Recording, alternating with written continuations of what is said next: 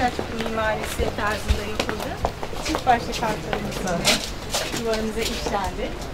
Ee, burası eskiden sosyal tesis olarak kullanılıyordu. Sonrasında bu şekilde taş kaplama yapılarak Selçuk mimarisini burada yaşatmaya çalışıyoruz. Yani dışarıdan da görüntü mükemmel. Çıramıyor. Bazı meslekleri burada canlandırdık. Ee, berberlik mesleği ilk olarak karşımıza çıkıyor. Ee, berberin çırağı yelpazeyi sallıyor efendim. Ee, yaz ayları burada çok sıcak olduğu için berberlerimiz bu şekilde e, yelpazeler yapmışlar. Evet. Hemen sağ tarafta yöresel yemeklerimizden saç gömmesi yapan teyzemiz var. Mutfağımız, Osmaniye mutfağımızı canlandırmaya çalıştık burada. Efendim hemen burada terzilik mesleği. Yine kaybolan mesleklerimizden. Burası kuyumculuk mesleğiyle ilgili. Eskiden kuyumcularımız kendileri üretirlerdi. Ee, Yani o üretim tezgahı bunların hepsi bağış efendim. Tüm olarak. Güzel. Anlaşılan bağışları.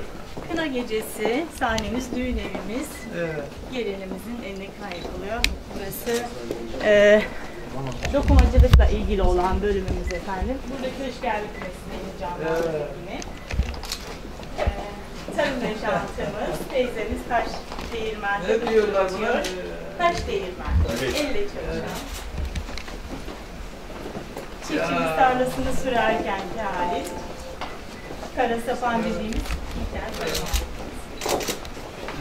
Ya kuyumdan su. Havaycılık mesleği. Evet. Çocuklarımız geziyor değil mi buraya? Çok Evet. güzel randevuyla geziyor. Öğrencilerimiz çok geliyorlar efendim. Fotoğrafçılık mesleğini canlandırmaya çalıştık.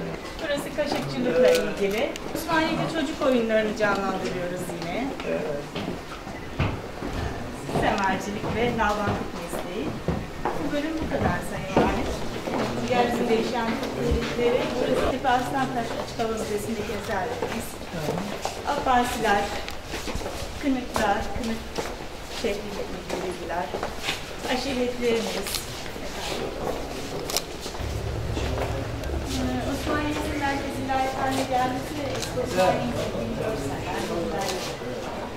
Ee, burası da milli mücadelemizle ilgili tren e, raylarının e, arıza verilerek, vidaların gevşetilerek trenlerin kaza yapmasıyla ilgili bir sahne var.